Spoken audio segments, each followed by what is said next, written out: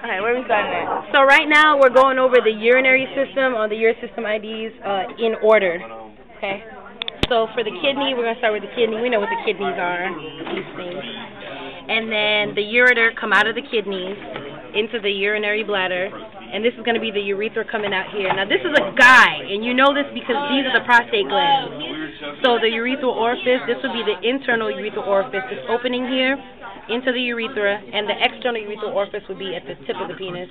But for this model. And then, um, yeah, for this model, we're going to call this the external because that's the internal and that's the external because it's going to keep going. And this would be the trigone, this triangle thing inside. The calyx minor and major are going to be on this kidney, so this beginning part would be major, and these ends would be the minor. And then um, the cortex is the outside part. And then the renal column are in between the pyramids. And then um, the medullary pyramid, you know, are these. And the renal pelvis are going to be at the, no, I'm, I'm wrong. The spaces, right. The renal pelvis is these teach parts in here. This is the renal pelvis. No. Oh, no, isn't that the renal pelvis? Yeah, Yeah, that's the renal pelvis here. Sinus is the space in, in between. Yeah, those, yeah. Renal So pelvis. this is the renal pelvis. Um, the papilla pyramid are at the end. These are the papilla pyramid. Uh huh. And then The hilum um, is just where it's, it's the renal vein, artery and vein. This would be the artery and the vein. And the segmental arteries would now be going this way. There's no segmental vein, so this is the segmental artery. And then the interlobular, now you're going Lobar. lobar. I'm sorry, interlobar are between the columns, so they would be these. And then the arcuate would be around the each of the pyramids. And the interlobular would be in the corpuscle, these around here.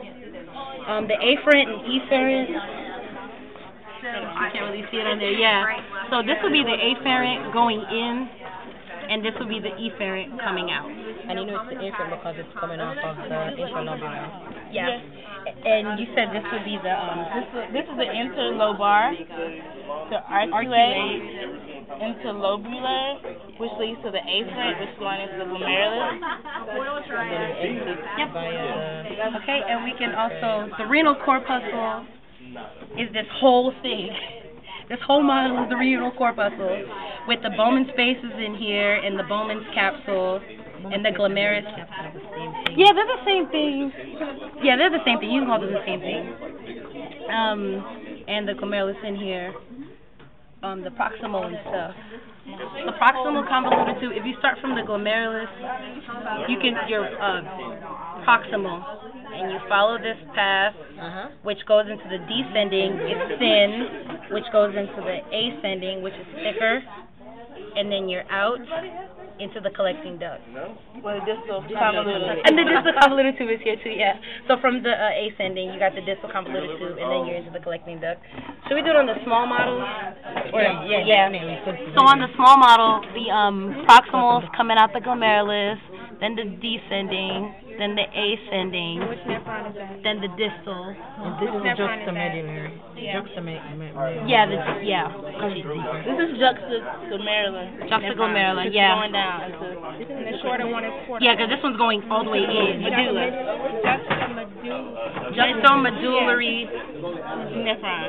It's going down into the medullary of the nephron. Right. This the is the one. cortical because it doesn't go low, and this is the Deep into the juxta one because it goes deep into the it goes deep. And loop of Henle and uh, ascending and distal and collecting duct. Okay, and um, yeah, that's it. Uh, on the glomer- on the glomerulus, these are the podocytes. Yeah, yeah, definitely. The macula densa, which is on the afferent arteriole, and this is the um Juxtamedullary. Juxtaglomerular Yeah. cells. Mhm. And together they make the I don't know. juxtaglomerular. So again, these are the podocytes and the juxtaglomerular and the macula densa, which is on the afferent.